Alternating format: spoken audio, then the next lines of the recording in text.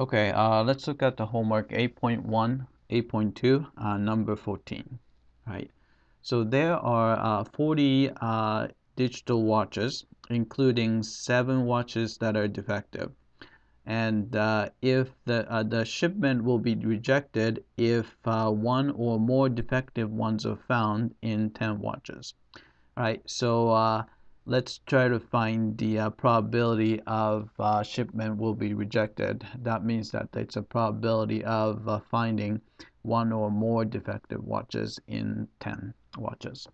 All right, so let's go to a paper.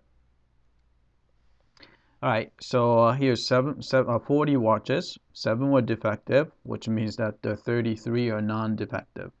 Alright, so let's try to say E is an event uh, to find one or more defective watches in 10 watches.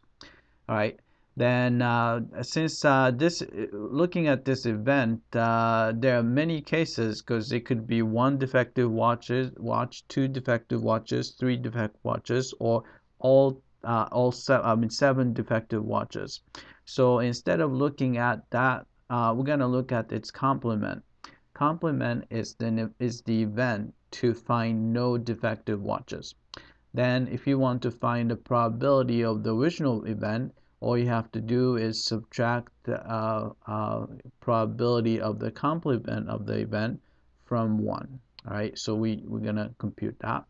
All right, so uh, probability of E is equal to 1 minus probability of E complement, which means that the 1 minus right? Complement of the, this event right? So how many so we have to count the total number of ways to choose 10 watches out of 40 watches. So that's going to be a combination 40 comma 10 right? So that's pretty easy right? Then so that this event is finding no defective watches which means that uh, we have to uh, choose all 10 from 33 non-defective watches. So this is going to be a combination, right? There are only 33 non-defective ones, and we have to choose all 10 of them from there, right? So let's compute that, right? So bring out the calculator. Right, so uh, clear this.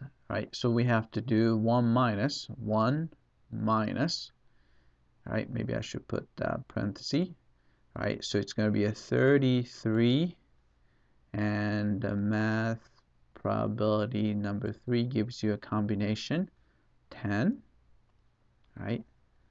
And then you have to divide it by uh, 40 and a math probability and the number combination uh, 10 and put parenthesis there right? So that's that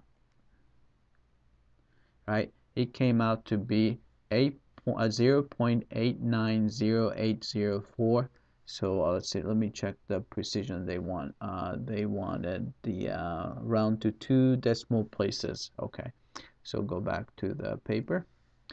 All right so this is going to be uh, so this is about 0 eight nine right? Then it's zero so it's out round rounded down. All right so let's go back and let's see if he, that takes my answer. All right so that's going to be 0 0.89 all right let's check. Check my answer. Right that was right. All right that's it. Uh, I hope that, that this was clear